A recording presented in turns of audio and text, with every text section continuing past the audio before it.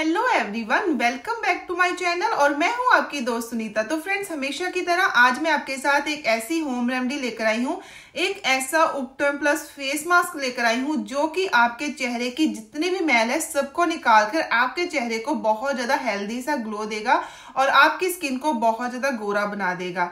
तो फ्रेंड्स मुझे बहुत सारे कमेंट्स आते हैं कि हमारे हाथ पैर काले हैं तो इसको आप अपने हाथों पैरों पर भी यूज़ कर सकते हैं। फ़र्स्ट सप्लाई में ही आपको इसका रिज़ल्ट देखने को मिलेगा। तो फ्रेंड्स आजकल पोल्यूशन बहुत ज़्यादा हो गया है स्किन के ऊपर सन टैन हो जाती है और हमारी स्किन का जो कलर है, उससे हमारा जो कलर है, वो डार्क हो जाता है। तो फ्रेंड्स अगर आप इस पैक को, उपटन को दो बार भी वीक में यूज़ करोगे तो आपकी हर तरह की प्रॉब्लम चली जाएगी। आपका जो स्किन है, बहुत ही स्मूथ एंड शाइनी दिखेगा और आपका चेहरा बहुत ज़्यादा गोरा हो जाएगा। तो बिना देर के हुए आज के वीडियो को शुरू कर लेते पर वीडियो शुरू करने से पहले फ्रेंड्स अगर आप फ़र्स्ट टाइम मेरे चैनल पे आए हैं तो प्लीज़ चैनल को सब्सक्राइब ज़रूर कीजिएगा और बेल बटन को ज़रूर कीजिएगा ताकि जब भी मैं वीडियो डालू, आपको उसका नोटिफिकेशन मिल पाए और ये सारा कुछ फ्री है तो सब्सक्राइब ज़रूर कीजिएगा। और अगर आपने मेरे चैनल को सब्सक्राइब कर दिया है तो प्लीज़ इस वीडियो को ज़्यादा से ज़्यादा लाइक और शेयर ज़रूर कीजिएगा।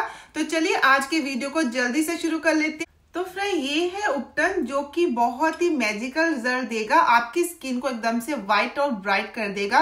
तो फ्रेंड सबसे पहले मैं इसको अपने फेस के ऊपर लगाकर आपको दिखाती हूँ। जब तक मेरा फेस ड्राई होगा, तब तक मैं आपको दिखाऊँगी कि इसको बनाना कैसे है। बिल्कुल ही डिफरेंट तरीके से मैंने बनाया है और बहुत ही अमेजिंग रिज़ल्ट देगा तो इस वीडियो को पूरा ज़रूर देखेगा तो फ्रेंड सबसे पहले आपका जो फेस है, वो अच्छी तरह से वॉश होना चाहिए। तो फ्रेंड्स इसको मैं अच्छी तरह से जल्दी जल्दी से लगा लेती हूँ। तो फ्रेंड्स, इस पैक को आप अपनी नेक के ऊपर भी यूज़ कर सकते हैं, हाथों पैरों पर भी यूज़ कर सकते हैं। तो जब ये सेमी ड्राई हो जाएगा 15 से 20 मिनट रखिए। उसके बाद इसको आपको अच्छी तरह से रब करके वॉश करना है ताकि जितने भी मैल है, जितने भी डर्ट है, वो सारी निकल जाए तो आपका चेहरा बहुत अच्छा हो जाएगा। तो इसको आप वीक में दो बार ज़रूर ट्राई कीजिए। तो चलिए देख लेते हैं इसको किस तरह से बनाना है। तो फ्रेंड, यहाँ पे मैंने वन टेबल स्पून लिया है बेसन का तो बेसन हमारी स्किन को साफ़ करने में बहुत ही ज़्यादा हेल्प करता है। तो इसके बाद यहाँ पे मैंने लिया है हाफ़ टेबल स्पून कॉफ़ी का। तो कॉफ़ी में एंटीऑक्सीडेंट भरपूर मात्रा में होता है, जो स्किन को लाइट और ब्राइट करता है रिंकल्स को भी दूर करता है।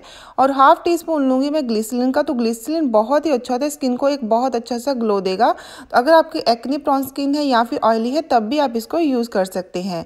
तो इसके बाद इसको मिक्स करने के लिए मैं यहाँ पर दही लूँगी तो दही से अच्छा और कुछ भी नहीं होता है, आप दूध भी ले सकते हैं अगर आपको दही सूट नहीं करता है। तो अगर आपको दूध और दही दोनों ही सूट नहीं करते हैं तो आप रोज़ वाटर का भी यूज़ कर सकते हैं।